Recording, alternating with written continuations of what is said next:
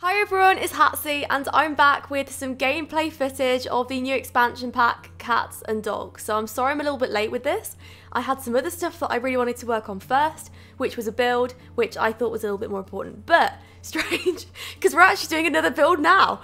I only had about 10 minutes of time to really explore gameplay. I didn't get that long, but when I did, I decided to do a very quick build just to place down some items and then play with the pets that I made in the create a sim. So that should be pretty good. So you'll get to see that coming up now.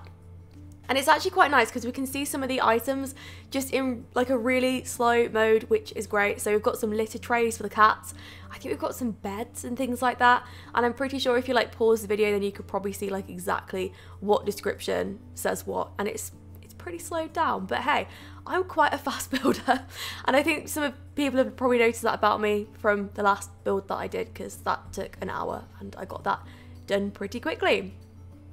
So I wasn't really sure what was going on here, to be honest. Um, I managed to get onto the cats climbing frames, which I think are so interesting. And to be completely honest with everyone, I've never actually seen a cat use one of those climbing frames. So it's quite nice to see it happen in The Sims 4 because from my experience with cats, they are very independent. They do not like the things that you buy them, just in most cases. And I have had the case where I've spent a lot of money on my parents' cat to have him not use any of the items. So it's quite nice. But we have some training grounds and I think they may be for cats as well, but I'm honestly not sure. Oh yeah, they are. Yeah, you can get cats in there. Okay. So this is the lady that I created, Gabrielle Hargrove. Now, she got some negativity. Can I just address this? I really didn't spend long on her. And I don't think that she's a bad sim. Honestly, I don't think she's bad looking. I think that she's fairly inoffensive. So that's good. And I was also recording completely by accident with the Sims 4 camera at this point. Sad times. I don't use that camera. So I'm not really used to it. But I was trying to take some screenshots as well. You'll probably see those coming up at the end. I really didn't want to speed any of this up because I wanted to be able to talk over it. It's supposed to be like a really chilled video. Like that's the idea for this. And you can just kind of see the pets moving around at this point. They're just like standing around. I think that I actually had the game settings to autonomy off, I think. But I don't, I don't know if that even works with pets. Um, but they really do have a mind of their own. So we've got one of the pets, the Australian Shepherd, to go through and you can have a little look at him. That's adorable. and um, you can see as well, like in the background, I think it will come up in a little bit, but there was actually a woman just like walking past with a dog, which I just thought was amazing. From memory anyway. It's been a while, it's been a few months, but there are just specific things I remember. And the little kitten! I told you we'd see him in gameplay, isn't he just the cutest? He is just adorable. Like, look at the size of him compared to the Smoky cat. I um, actually knew a smoky coloured cat called Smoky. I'm not weird, I promise. I just, hey, that's it. That's what I thought of. The dogs are just like chilling out over there. Whilst the cats, I think they're sharing. Oh my goodness. I can honestly say that like I'm gonna have so much fun when I get my hands on this game because I'm just looking at this with just pure envy of past me.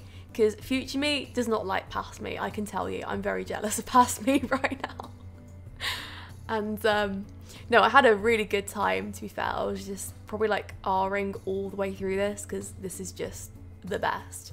So I think that the dogs are kind of just like out there by themselves at this point. So whilst we're messing around with these cats, I think the dogs are just like chilling out by themselves, but they really do have a mind of their own. And I think I kind of touched on this in the Sim.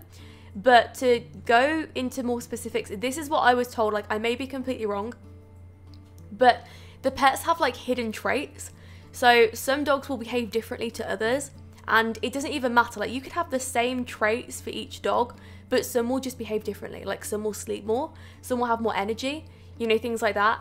So that's interesting. So I actually wanted to see the creator sim. Oh my goodness, why am I referring to the sim as a creator sim? That is just terrible. Gabriella, is it? Gabrielle? I wanted to see what it looked like. it. this is getting worse. I wanted to see what she looked like picking up the kitten. and seeing that kind of interaction because I don't think we've seen that yet. And I just thought that was adorable. Yeah, like look at that friendship. I'm sorry. If that isn't the cutest thing you've ever seen in The Sims 4, I don't know what is. Like tell me tell me another time where that has just had the same effect of cuteness. No, it doesn't happen. I'm sorry. And what is she doing walking past with the food? Can you leave us alone, please, to enjoy this moment? Now, I don't know if the pets just like naturally gather all together, but I did start to notice that. Oh, and also, that's really cute. So you can see the dog in the background just like go over to the lady. I think that you can like point to where you want them to go, things like that from memory, or whistle, and they'll come to you. But they're not like um, sort of how the Sims are. Like you can't control everything they do. They really do have a mind of their own, which is nice. I know that a lot of people complain about that, but really, like, have you ever been able to control what your pet does? Have you really? I think it makes it a lot more realistic. I mean, it's not great if you like to plan stuff like me, if, if you really like to get into stories and stuff and you want to plan every single detail, because it's really easy to control Sims, it's just not that easy to control pets. But as long as you stay away from, I don't know, Warriors storylines or anything like that, then you'll be fine. Or I don't know, a Homeward Bound series or something like that. So yeah, we'll see. But I did try and include different dog breeds just so you get to see what they're like just in gameplay. I didn't want to just have the same breed of cat and dog because I wanted to mix it up a bit because you know everybody likes something different. But I explained that in the create a sim. So you can actually see that you can do sort of different activities with them. You can actually take them on a walk as well. I think that I tried that. Was that what I was doing at this point?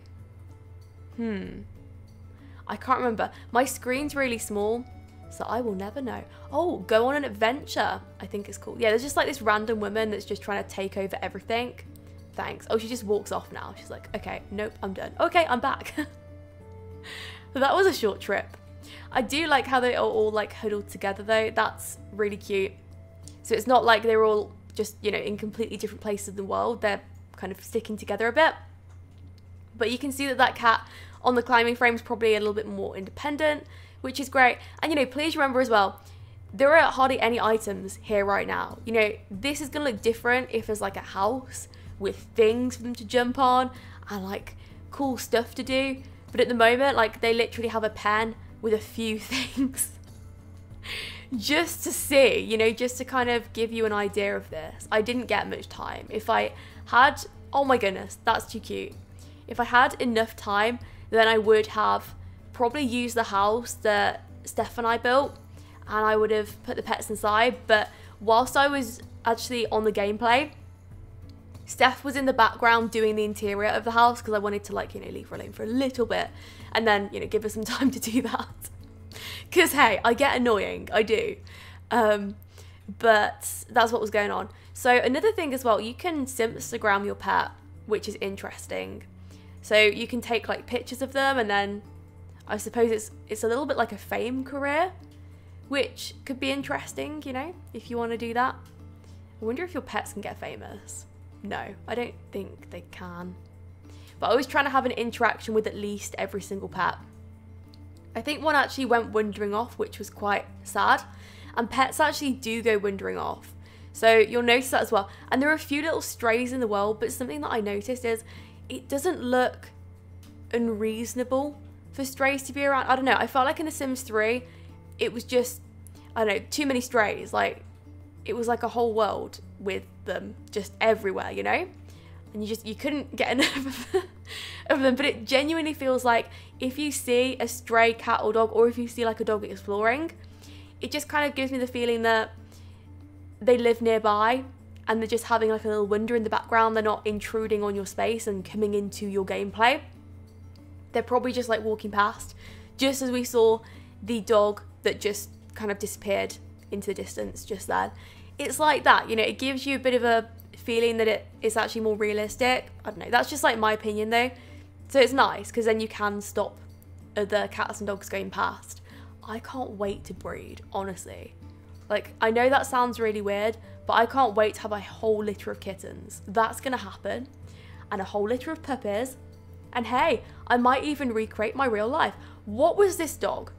I don't know what this was at this point. That was like a um, giraffe, zebra, weird thing that went past. and I was thinking that as well during gameplay. I was thinking, what is that? I thought it was really nice how the cat was playing with the ball and um, I like the interactions as well, just very realistic in my opinion. Look how the dog's sleeping. Wouldn't that just look amazing by the fire?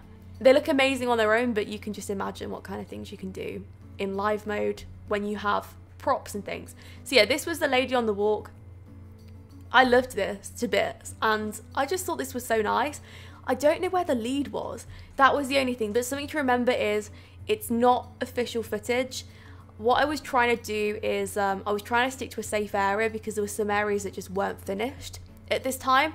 Like I knew that the um, the vet career path, I know that it's been mentioned now, so I can probably mention it. At the time when we were making these videos, that was not finished, and that was like pretty early days.